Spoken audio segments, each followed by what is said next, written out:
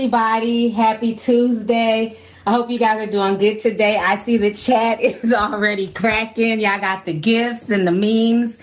Man, it is a lot going on, y'all. And we've been talking about all of this stuff off and on all day in the Discord. Um, a lot of things that are coming down the pipeline.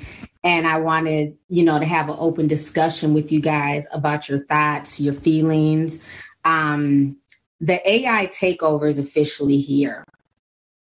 And while I come from a tech background, you guys know this, I did IT for years. And while I love tech, I love social media, I love certain aspects of, you know, what we've been able to create. But then there's also another aspect that's just extremely frightening because it's like, how far does the rabbit hole go? You know, and we went from almost joking years ago. Remember, this was the biggest joke on social media.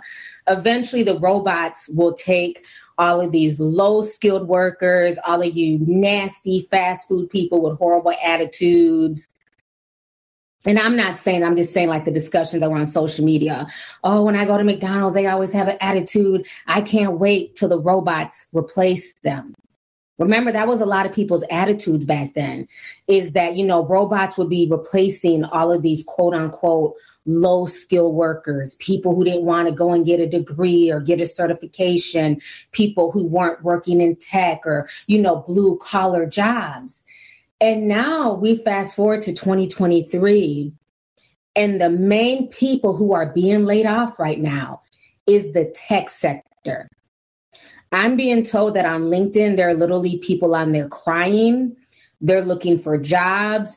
Microsoft has already laid laid off over 10,000 people. They laid off about 2,700 people today. Google has laid off thousands of people. Facebook has laid off thousands. We know Silicon Valley right now, they're going through it. They're laying off so many people in IT, it is ridiculous. So it's very interesting how we went from being conditioned thinking that it would be quote unquote low skilled workers being replaced. But the people who are really being replaced are people in higher paying positions.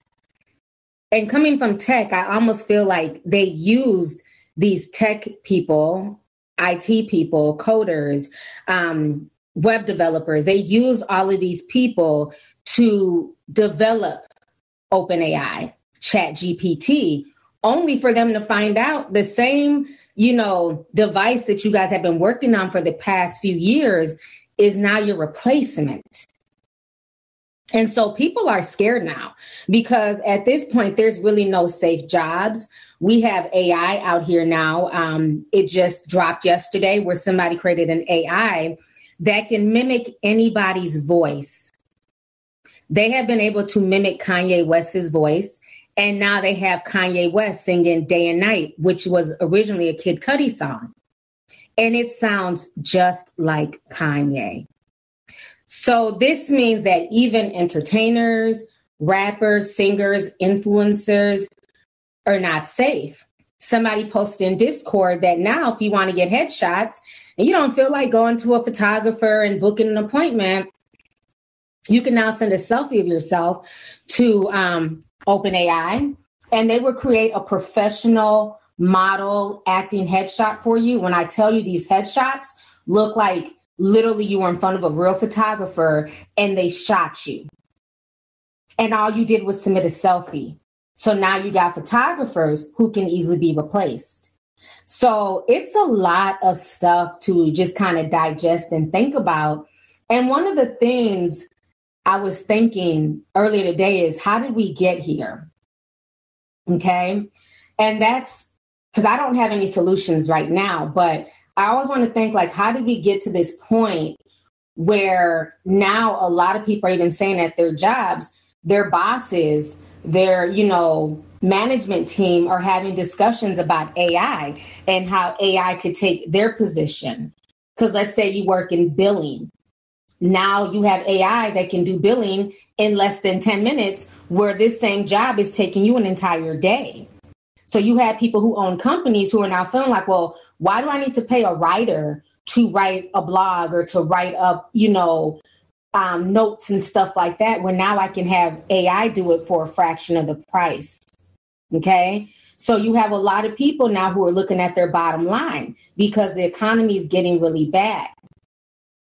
But I think about my journey on social media and having been on here for, you know, a long time. I've seen a lot of trends come and go. I've seen a lot of things. And when I think about how we got here, and I talked about this when we talked about the nursing shortage, we went before social media, before this whole thing where people would just rant, rave, talk.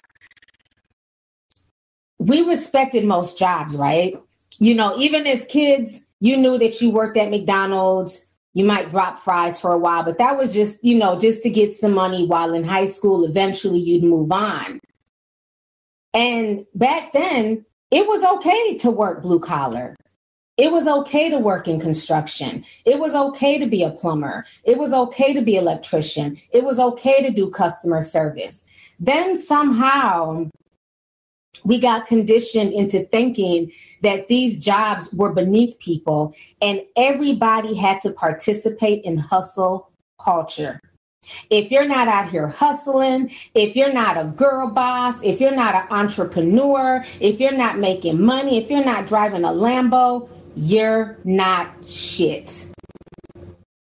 Think about how many people over the years sold so many people on social media this dream. And what people weren't thinking is the only reason why these fools are able to drive around in Lambos and make all this money, they're making it from selling you, the gullible, courses for a thousand to two thousand dollars a pop and more. See, like the phases that United States goes through, like with the indoctrination of our people. So, like you said, they made it to where the kids and stuff, and they don't don't nobody want to learn nothing and get their hands dirty and all the mechanics jobs and, and farming.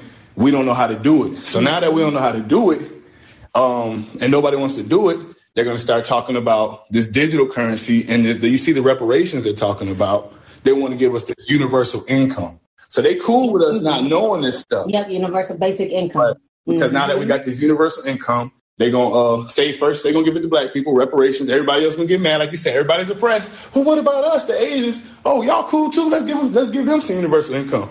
So now everybody's getting paid. We got AI in these jobs, so where now they control. Now they just basically got control of everything now. So I just see it going in phases. They're gonna be able to throw this Bitcoin and digital currency at us to kind of change the monetary system, so we don't be mad. That everybody's getting new money and kind of reset that way. That's what I think is going on.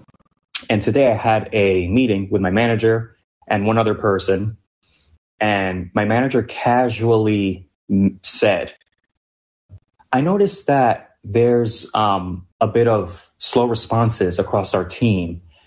Um, I feel like bots can do this. I, feel like we can replace people with bots. And I'm wondering, I'm wondering where's the critical thinking skills? Because mm. if we're not mm. using more critical thinking skills, should we just use bots like bigger companies do? Um, and that that set an alarm in my head, right? Because my company has told us, hey, so there's no need to worry. I know you see these layoffs here and there. There's no need to worry at the moment, right? Um, but we're we're holding out budget when it comes to things like, oh, we want to do like a, a team outing or go here as a team. Our budget is more of a concern. So even if our company's not telling us that we're not in hot water, there's I feel like these conversations are being had by the the you know the the upper exactly the higher ups. That's the word i was looking for. The higher ups. So in my opinion mm-hmm. what i can see coming down down the pipeline and possibly soon within the next few years because my job i work with with clients right? Mostly through email but i also get on calls um, and i help them understand data. But i could see for example a job like mine being done by ai because if you just the same way that like these um mm-hmm. like artwork AI, right? You, you just you just feed them different people's artwork, different people, different things from the internet, and they can produce something. I feel like eventually you'll be able to do that with anything. How do we monitor AI? How do we train it? How do we make sure that AI is not running amok? And those are all going to be new jobs. So my question is, who is we? You know, is it these people with nefarious intentions? Is it the elite? You know, you just started talking about Bill Gates and how he just fired his whole ethics team at Microsoft. So, hypothet- hypothetically, if AI is learning the mindsets of these people with hidden agenda, with hidden agendas and continuing to push society in one direction and you know praise the people who are on board you know um, you know, I know you've mentioned uh, China's social credit system, while at the same time suppressing and maybe in an extreme case punishing mm-hmm. the individuals who disagree with this mindset you know we can get rid of all these other high paying jobs but there'll always mm-hmm. be physical labor for people to do like building houses and building you know fema camps or just whatever they're going to make people feel in the future so i thought yes. that was very interesting that they said that that was one sector that the robots aren't able to do yet is the physical Absolutely. labor part. So let me ask you guys in Europe and France, where you're at particularly, are you guys having mm-hmm. issues mm-hmm. like we are here in America as well with AI, the whole AI takeover? Is it starting to affect you guys in Europe or not yet? Exactly. So that's what I wanted to tell you. Yes. So, um, not completely. I think it's the beginning and I think it's the youth. Actually, the youth is quite aware of what's happening. And in some sectors, I guess mm-hmm. the students and stuff. But yeah, so mostly the students. But for example, and that's what I wanted to tell you. Um, my first point was, for example, you know me, I, uh, but I told you when I joined the Discord that, um, I am learning web development. So I used to be, so I, I learned stuff and now I'm um, uh-huh. uh, applying to get a job. And for example, just to tell you, now it's uh, midnight, one o'clock in the morning. Tomorrow at eight in the morning, I have a job interview to be a web developer. I had a job interview last week. So I have many job interviews to be web developer. And I wanted to say that just because it's the only uh, positive point in uh, this whole thing is that even if AI is here, I think because just to uh, make uh, to make a long story short, when AI um, it, it, was mm-hmm. like last month, okay, when I realized the power of GPT, I really wanted to cry because I was like, what the fuck? I invested like two or three years of my uh, uh life in, into learn, in learning IT. You know? and now I could have a job and GPT is stealing it from me. What? So I really, I was so, not depressed because I'm not depressed, but I was so sad. I wanted to cry. And actually I saw videos on YouTube and people saying, okay, this is true. GPT is super strong. And now we have GPT-4. It's crazy. It can code better than me. Absolutely. I know that and better than many people of course. Yes, we know that. But mm-hmm. positive point is that, and that's why uh, I might get a job very soon. I have this interview tomorrow. Everything is so, uh, is going very well because people see. That's why Thank I really you. just love what you do, just giving us all this information. So we're not just, you know, just, you know, being just getting uh, just not being able to think critically and just being lazy and not being able to really read between the lines because it's really important because it it makes us college kids because I'll graduate I graduate next year mm-hmm. and I'm just like am I going to be able to even get a job? Is it going to pay enough? Am I going to be able to move out? Do I have to move like out of California? Don't mind doing that. But there's so many like thoughts of like, well, what if there's another pandemic? What if there's a new pandemic right. and it's called the out? I, I make this joke all the time. I'm like, what if there's another pandemic and it's called the outage? And they'd be like, Terry, what you talking about? And I'm like, like, what if we don't have access to the internet? What if there's an internet outage and we're just, there's no, there's no internet? Then what?